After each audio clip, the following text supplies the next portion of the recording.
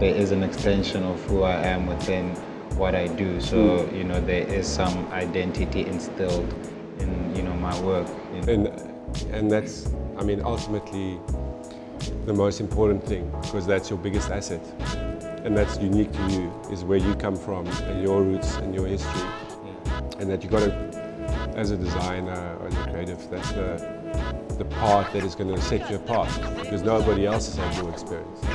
And so if you can express that in design you know people will be attracted to that because it's it's telling your story.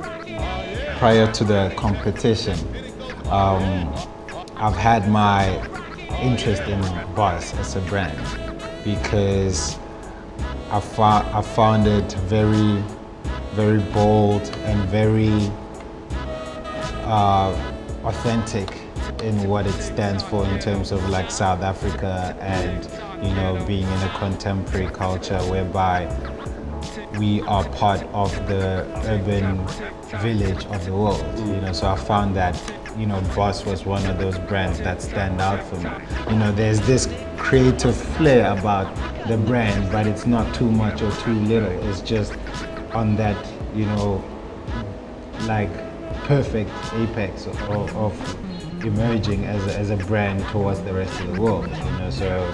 Thanks, man. Well. Yeah. So after that, I, I, was just waiting for an opportunity to to come forward and be, you know, part of it. Yeah, be part of it. And then when the when the competition came, it was just a matter of just stepping up and just launching my, my ideas, you know. It's one of the main reasons for us to to launch a competition like that is to allow people to express their story into this story, of course, and um, and mirror it because it's an open platform. It's a kind of a canvas um, for people to express their own creativity into the story, which is what this competition allowed and what, what you did and why you won the competition is brought that.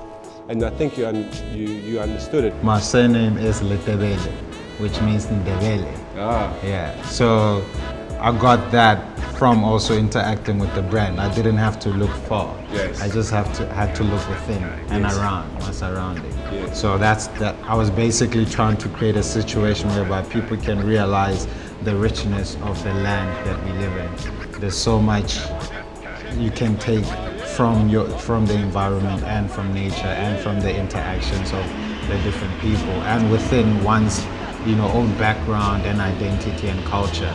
So that it was just about putting myself out there on the can. On the can, you know. So yeah, now we can drink it, and, and when we received your design, we yeah, pretty pretty quickly it's back to us. Yeah, and we said, wow, this guy's cool. so I was, uh, we we happy the winner.